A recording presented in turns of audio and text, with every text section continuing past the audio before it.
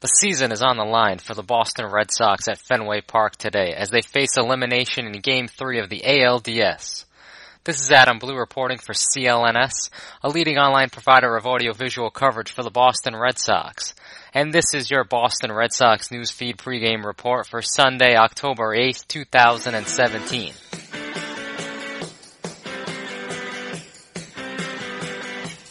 Boston will seek to avoid getting swept in the American League Divisional Series for the second straight season and will need to bounce back from two abysmal performances in their first two matchups with the Houston Astros.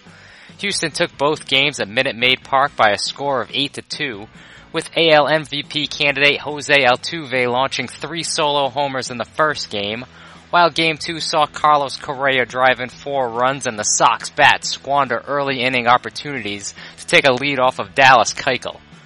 The Sox will turn to an unlikely source to save their season, as Doug Fister will take the hill when Game 3 kicks off at 2.30 p.m.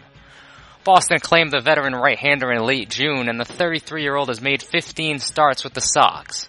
He struggled initially going 0-5 with a 6.04 ERA in his first month with Boston, but quickly turned his season around and became one of Boston's most reliable starters. From July 31st to September 6th, Fister was 4 2 with a 2.79 ERA, with 5 of his 7 starts lasting at least 7 innings. Fister also had a complete game one hitter on August 22nd in Cleveland, where he allowed a leadoff homer and then no hit the tribe. He was rocking back-to-back starts on September 13th and 18th, but closed out the season by allowing three runs in five and a third innings in each of his last two appearances. Fister touts a solid 4 and 2 career mark and nine postseason appearances, eight starts, and has a minuscule 2.60 ERA over 55 and a third innings pitched. He has gone at least six innings in his last seven postseason starts, but it has been over three years since his last playoff appearance.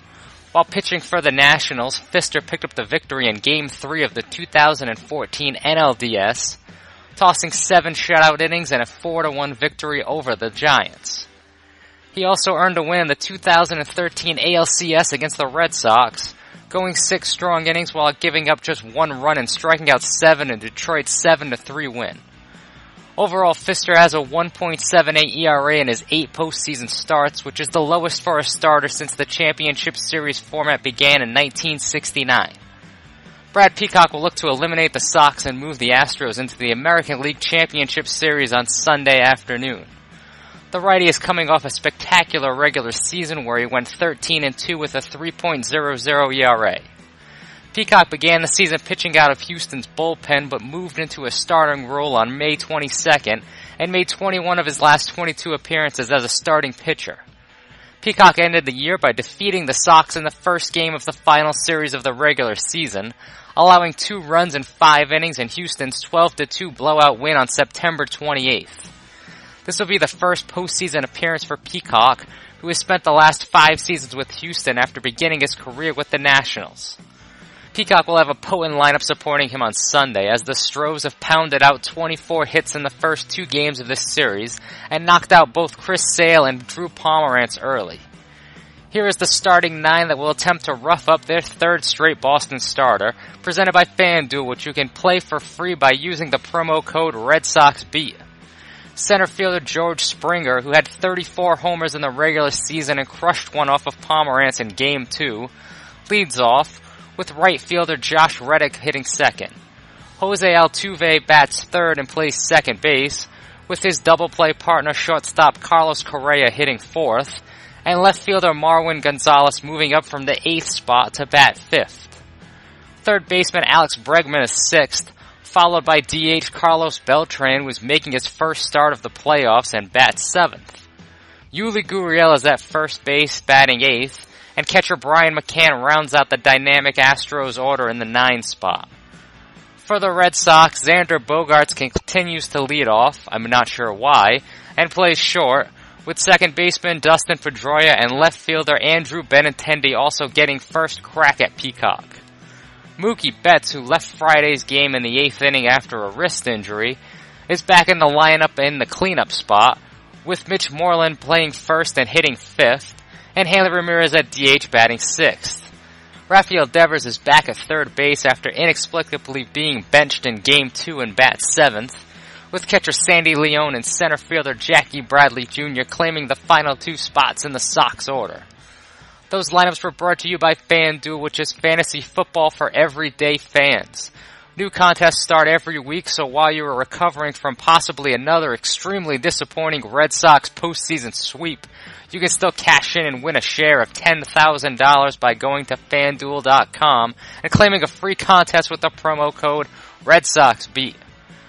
All hands are apparently on deck for the Sox today as Red Sox manager John Farrell, who could be coaching his final game for Boston today, stated that game one starter Chris Sale could be used out of the bullpen if needed. That would eliminate Sale from starting in game four as the Sox have still declined to announce who would toe the rubber if Monday's game actually takes place, weather permitting.